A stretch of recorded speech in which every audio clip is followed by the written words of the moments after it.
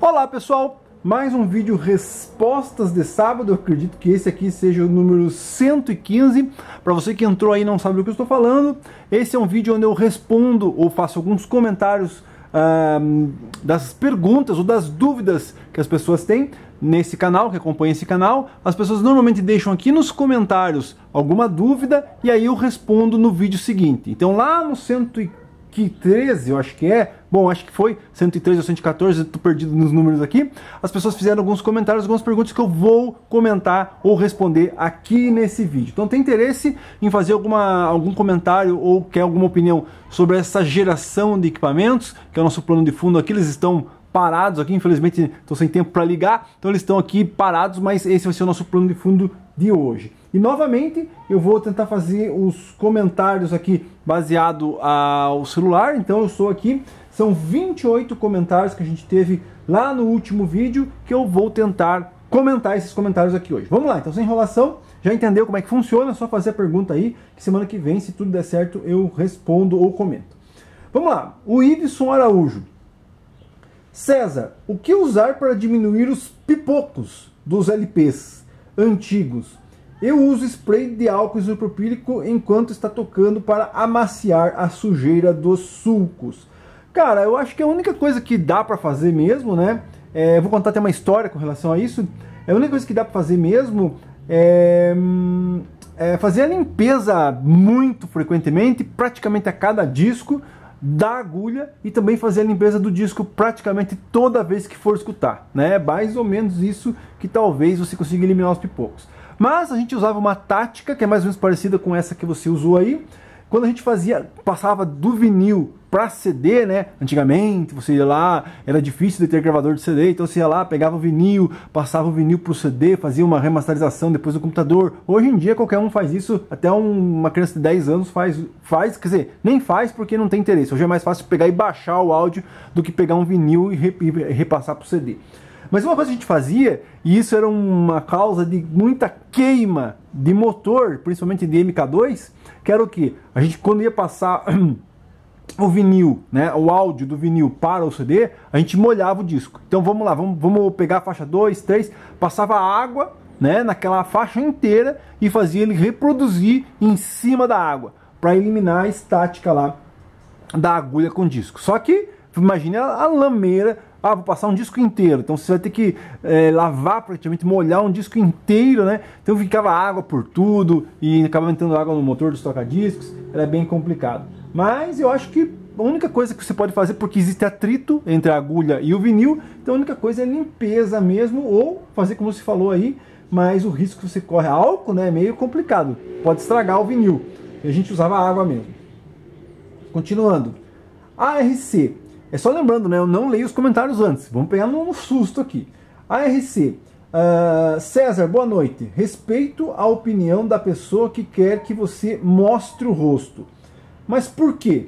Se o foco são os aparelhos. Parabéns pelos vídeos. Ah, então é isso aí, né? É, quem quer mostrar o rosto e ficar é os influencers, youtubers querem mostrar o rosto tal, para um dia virar deputado, senador, presidente, sei lá, dono do mundo, alguma coisa assim.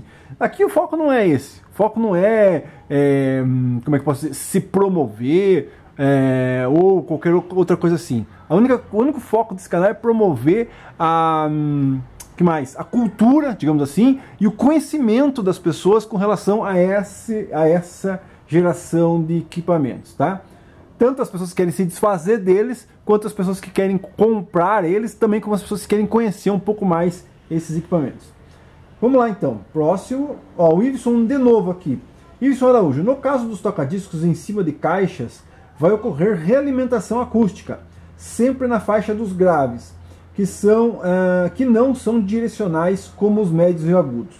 Como o, veja o pesadelo que é esse Wintag, KRP206S, vendido no Japão, com saída USB, amplificador e dois alto-falantes acoplados na base do tocadiscos. Abraço. É isso aí, né?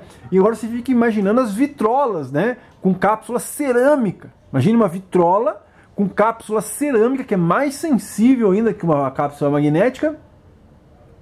e, ou menos sensível, né? Mas que, imagine uma vitrola com aquela caixa, com tudo ali, fazendo com que a cápsula é, consiga pegar. A... É complicado, né? Então, sempre, a gente sempre falou isso, né? Caixa acústica tem que estar sempre longe do toca-discos, porque o toca-disco é bem sensível e ele capta qualquer coisa. Então ele consegue pegar uma reverberação das caixas aí, né? É, e tem muita gente que às vezes tá, não está acostumado com a história do vinil e pega o equipamento e fala, pô, tá com problema. Não é problema, é caixa muito grudada no equipamento. Continuando, é, Gilberto Martins. Boa noite, César. Polivox TD3000, TD5000 e Gradiente DD100Q e 200Q. É, imagine que todos estão funcionando perfeitamente e iguais esteticamente. É, qual você indica é, e quais. Uh, peraí, e quais os prós e contras de cada um. Obrigado e parabéns pelo canal. Puxa, teria 3 mil e 5 mil, basicamente, né? A mesma coisa, só que o. Quer dizer, basicamente é a mesma coisa, mas tem braço muito melhor. Então, digamos assim, se o cara quer te dar de presente, não tem valor embutido, claro, uma TD 5 mil vale quanto? 3 mil reais hoje? Uma 3 mil vale quanto? 2 mil reais? Uma DD 100 kg 200 que vale quanto? 2 mil reais? Eu iria nas Polivox, tá? Eu iria nas Polivox mas se o preço for o mesmo, ó, o cara manda você escolher uma lá por, pelo mesmo preço. Claro que eu iria na 5 mil, óbvio. Se elas estão no mesmo estado de conservação, funcionando em plenamente, com cápsula e agulha perfeitinho, eu iria na 5 mil, óbvio, né? Mas como a gente sabe, esses equipamentos nunca estão sempre no mesmo estado de conservação. E uma coisa que eu sempre digo aqui, que é melhor você pegar um equipamento mais... Hum, é, é complicado falar isso, mas um, pegar um equipamento mais bem conservado, digamos assim, do que pegar um equipamento top todo detonado, né? Vamos ver aqui, agora vou ter que voltar. Então aqui deixa eu botar o coraçãozinho no Gilberto, porque eu já respondi. É, venha numa live sexta-feira, a gente conversa um pouco mais sobre prós e contras delas, que tem bastante coisa a ser falada. Olha a, uh, olha a coleção de CP750D, esse desse cara, ô louco. Putz, é que eu mostrei lá no, no vídeo da semana passada, três CP750D, mas aqui na coleção tem seis, né? Então só foi metade. É... Eduardo V. Boa noite, César. Poderia falar. Ah, daí alguém vai falar assim: Nossa, mas você tá é, esnobando, tá mostrando, tá ostentando o 750D? Bom, você anda de carro importado de 100 mil e, e tem um S95 na, no, no som. Eu tenho um monte de som e ando com um carro velho de 2010 caindo nos pedaços. Né? Cada um tem as suas prioridades, tem que entender isso. Né? Eu prefiro gastar o meu dinheiro com som e não gastar com um carro novo. Então, o cara vem e fala assim: Nossa, você tem um monte de coisa aí e vem aqui de, de caminhonete importada de 100 mil. Porra, então, é prioridade. Se a tua prioridade é ter um carro de 100 mil, beleza. A minha prioridade é ter um monte de som velho. Vamos lá. Ixi, pulou aqui. Deixa eu ver aqui, vamos lá. É é, não, não tô Márcio de Luca, né? Só estou fazendo um comentário, não estou falando sobre a sua, o seu comentário, só estou falando um comentário que as pessoas normalmente acham que, que é exibicionista, alguma coisa assim, né? Exibicionista é quem anda de carro de 100 mil, porque para você ir no mercado e voltar não precisa de carro de 100 mil. Continuando, boa noite César, poderia falar um pouco sobre os Technics SA190 e SA290? Sabe se tem algum problema crítico nesses aparelhos? Sim, eles são o, o início do fim ou o fim do início, na sua opinião? É para mim é o fim do início, né? O problema é o seguinte, que teve uma boa época que esses equipamentos ainda tinham, né? Tá ficando bem escuro aqui, tá anoitecendo, mas fazer o quê? É, normalmente o pessoal não liga muito aí para esses vídeos de resposta. Então vamos lá. É, na minha época de conserto desses equipamentos, se eu não me engano, os dois tinham manutenção. Hoje em dia parece que o 290 não tem mais o integrado. É, mas o 190 também pode, não, pode ter o integrado, mas ser falsificado, né? Hoje em dia não dá para confiar em nada, na verdade. Então, esses equipamentos, é assim, quer comprar um equipamento desse? Quero. Abra, tá com o STK original? Tá. Faça um teste minucioso, tá funcionando 100%, beleza, com quatro caixas, quatro ohms, tudo certinho, não pipoca, não faz barulho, nada, compra. Mas saiba que um mês, um dia, um segundo depois, se ele abrir o bico, já era, não tem mais o que fazer. É, continuando. É, Olá César, tudo bem? Estou pretendendo comprar um TD Gradiente, seja DD100Q ou 200Q. A dúvida é, quais os cuidados ao comprar e quais, e quais as perguntas sanar com o vendedor sobre o aparelho? Obrigado e parabéns pelos vídeos. Cara, pergunta para o vendedor é aquilo, funciona 100%? a rotação tá ok? Você pelo menos testou o equipamento com vários discos ou alguma coisa assim? Né? Testou é, é, com vários discos, ele está funcionando há muito tempo na tua mão, porque tem gente que pega o equipamento, põe na tomada, tá girando correto? Tá. Saiu o som, saiu o som, põe para venda. Pô, mas daí, e se meia hora depois, ou se no primeiro no segundo disco ele começa a pipocar? Ou variar a rotação, ou flutuar a rotação. Então tem que saber de quem está comprando. Se você percebe que é desses caras que compram o aparelho e já. Tipo, o cara comprou. Aconteceu isso aí no, no LX aí. Eu vi um equipamento sendo vendido, pô, eu quero, eu quero, eu quero. Ah, acabei de vender. Beleza, dois dias, nem dois dias. No outro dia estava sendo vendido no mesmo LX pelo três vezes o valor. Quer dizer o quê? A pessoa pegou o equipamento num dia, no outro dia já pôs a venda. Quer dizer o quê? Não deu tempo nem de testar nada e já quer três vezes o valor que ela pagou. Né? Exemplo, se eu pegasse aquele equipamento, eu ia pegar o equipamento, ia testar, ia deixar ele funcionando, ia usar ele um pouco para saber se ele está realmente, se não vai apresentar nenhum problema, e daí pôr a venda. Mas as pessoas não querem isso. Os caras querem comprar hoje por 500, que é mais ou menos o preço que estava lá, 500 e pôr para vender por 2,300, tá?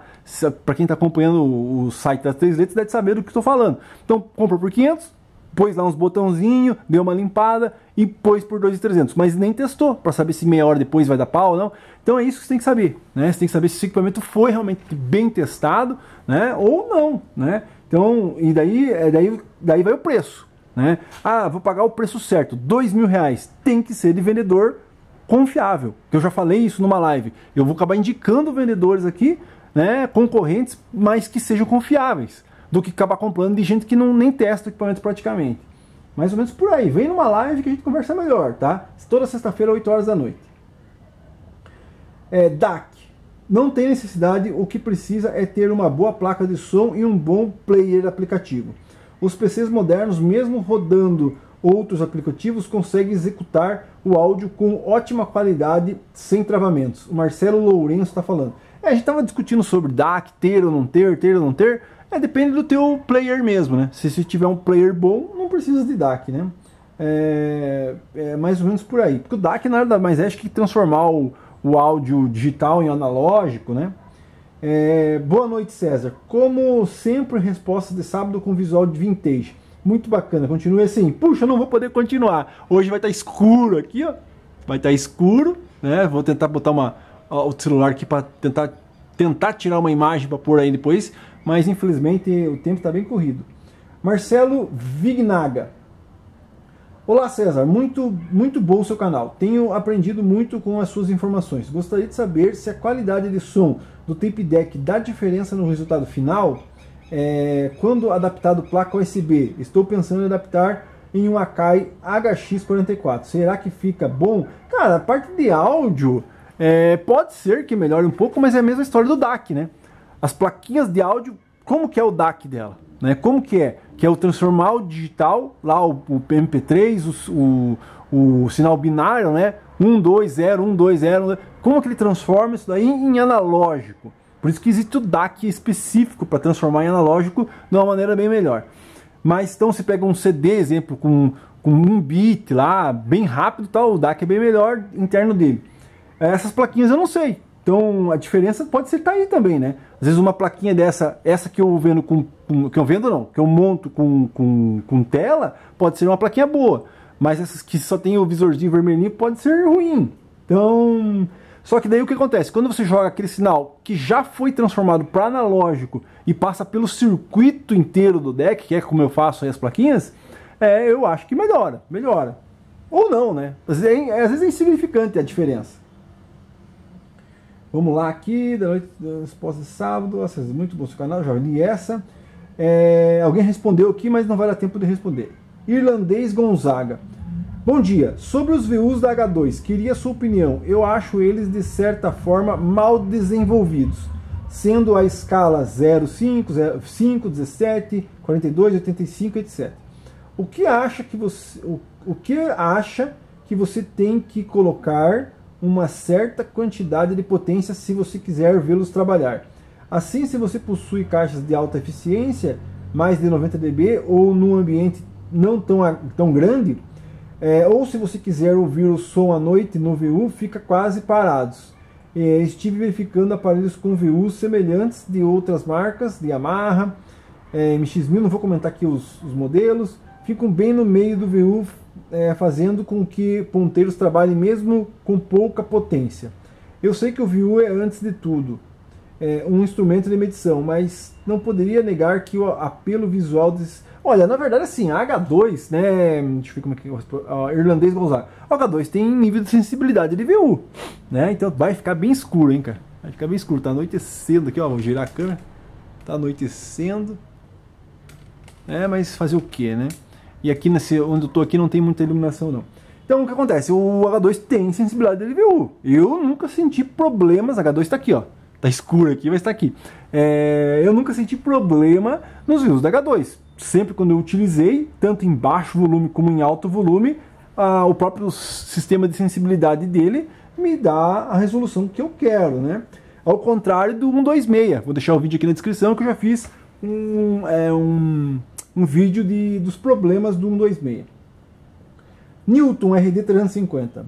É, um dia eu vou colocar no meu, meu, meu nickname César CBX750, mas tá difícil. Só bomba e muito caro. Boa noite, César. O equalizador E10 saiu de fábrica com dois tipos de knob? Sim. Inclusive eu comprei um com o tipo mais, mais difícil de encontrar. Tá demorando para chegar aí, porque eu quero fazer um vídeo colocando todos os equalizadores juntos. Cara, essa, esse plano de fundo aqui vai ficar, não vai chamar atenção no YouTube não. É, o YouTube não, esse vídeo não vai dar nada. Vamos lá então. Uh, então tem sim dois knobs, dois tipos de knobs OS10. Alberto Muller. É, boa tarde, tudo certo? Tem um receiver S126 gradiente funcionando perfeitamente, porém não acende a luz vermelha do estéreo do FM.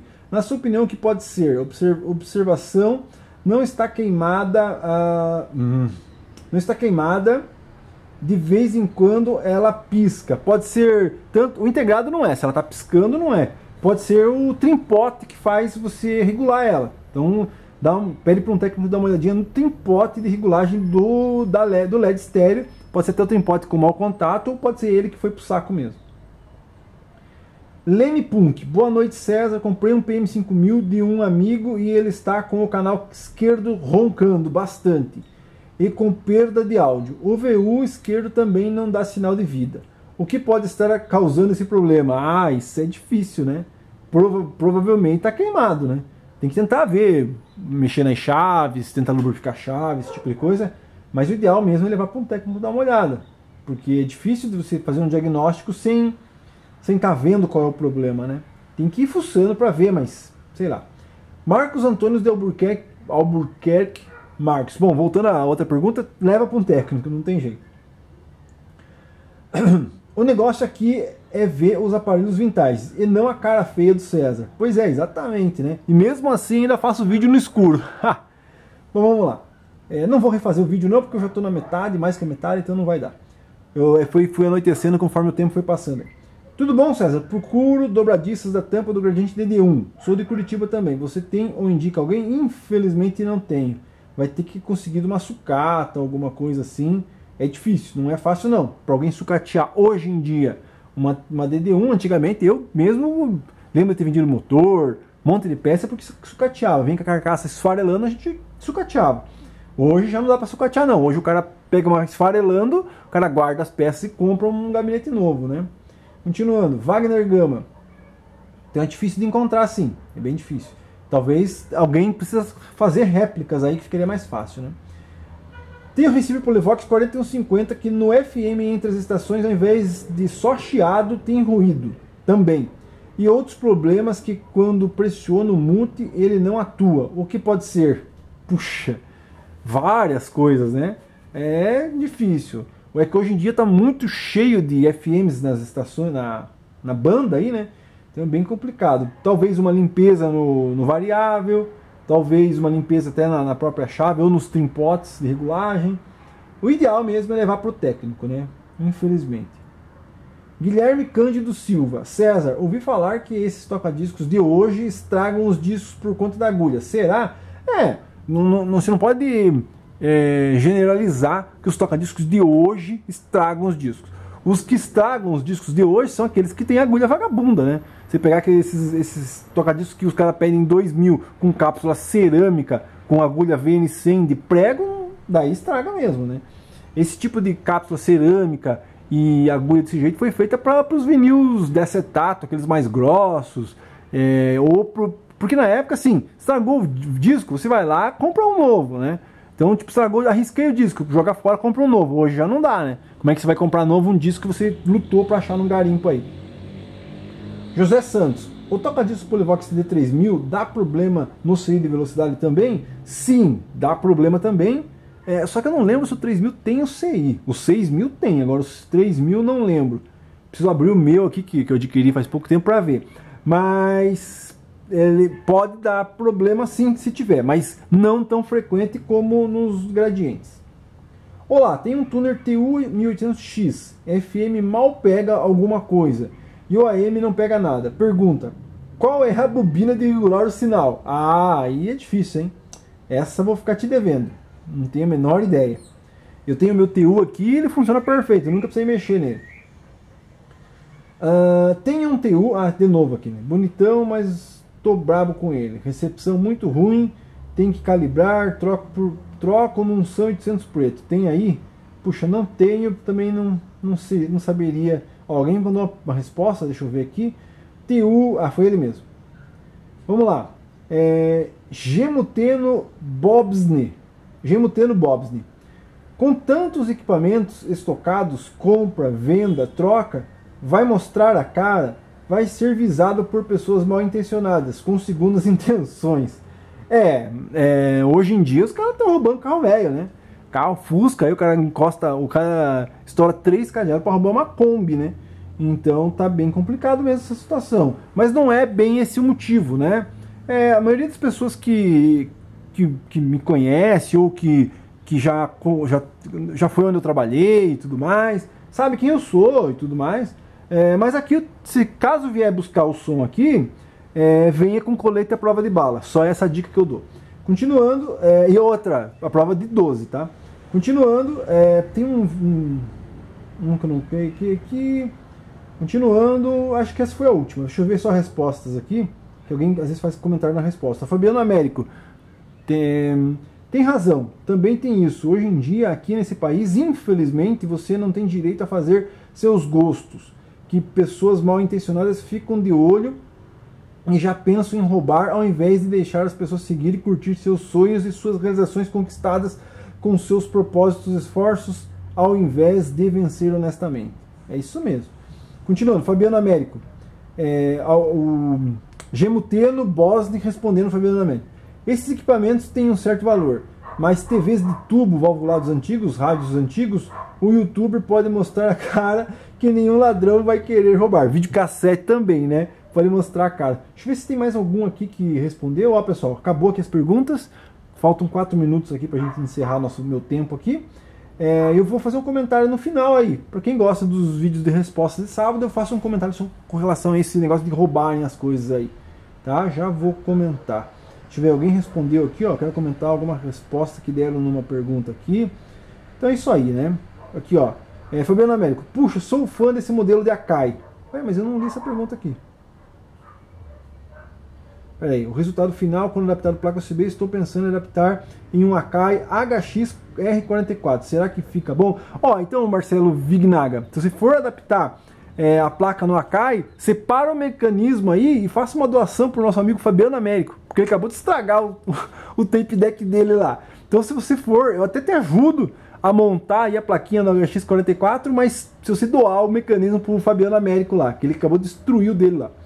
Vamos lá, aqui o Fabiano Américo ele mandou uma mensagem aqui, ó. Puxa, sou fã desse modelo da Kai, comprei um em condições de novo e estou curtindo muito. Quer vender o seu no estado? Olha, só que ele estragou, foi trocar as correias e estragou o aparelho lá. É, que mais? Ver se tem mais alguma, alguma resposta aqui para comentar, né? É, que mais? Tem uma resposta aqui, acho que eu não li. Vamos ver, tem ah, aqui de novo um TU, deixa só um minutinho, vamos ver aqui. Também tem razão. Li todas. Então é isso aí. A resposta de sábado foi. Faça sua pergunta aqui na escuridão. Já que eu não mostro a cara, resolvi não mostrar nem. Ah! Já que eu não mostro a cara e também o pessoal ficou com medo de roubar os equipamentos, vamos falar aqui no meio do escuro mesmo, né? Bom, com relação a roubar os equipamentos, você quer o que, né? Se em vez de julgar pessoas que é, fa tem, fazem corrupção, desvio de dinheiro, desvio de verba, esse tipo de coisa é, não é julgado, né? é prescrito. Né? E já outras coisas, como ofensa pessoais, digamos assim, né? um comentário aqui no final, só, vai, só quem está assistindo ao final e com fundo preto vai, vai escutar. E já quem faz ofensas pessoais é julgado em seis meses. Né? Então, ou a gente muda isso, ou não. Qual que é a prioridade? Eles são funcionários públicos. Ele é meu funcionário. Ele, eu elegi alguém para pôr ele lá para trabalhar por mim. Agora, se ele vai correr atrás de alguém que chamou ele de alguma coisa, isso não pode. Ele tem que ver o geral, o público, ele tem que resolver os meus problemas. E o que me afeta não é xingarem ele, e sim. Puta, não sei se vou ter que cortar isso aí. E sim quem está roubando o meu dinheiro do meu imposto. Concorda comigo ou não? Então é isso aí, valeu, tchau.